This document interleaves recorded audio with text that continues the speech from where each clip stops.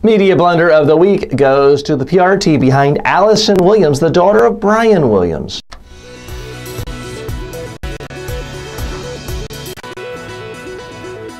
So, folks, as you know, Brian Williams has been the butt of a lot of jokes recently. His career is in tatters.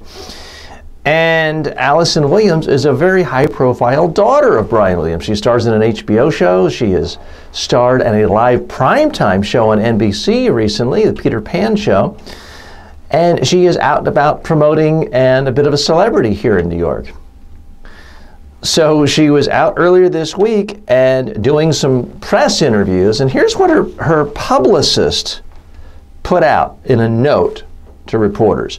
Please note that Allison Williams will only be answering questions pertaining to Michael Kors' Fashion and Girls, the TV show. We request that no questions about her personal life be asked. Well, folks, that's not how it works in the media game. The second you tell reporters that certain questions are off limits, then by definition, those are the only questions, those are the only topics reporters want to cover.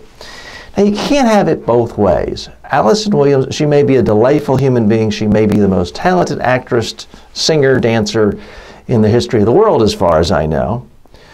But at a young, tender age, to be able to star in live primetime shows on NBC when your daddy is making $10 million a year, there at least was, and is the managing director, managing editor of the news division, strikes a lot of people as nepotism. So if you're going to benefit from your father being so high profile, it seems like a relatively small price to pay to have to answer questions about your father and what's going on in all these controversies. So that was a ham-handed way of handling it.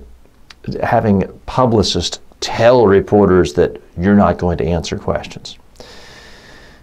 So I give her uh, low marks for that. Now, I will give her high marks later in the day. Apparently, her PR crew caucused and realized this is a big problem. So they did have her answer questions in a friendly venue where a fellow NBC star, Seth Meyers, asked her questions at the 92nd Street Y at a forum.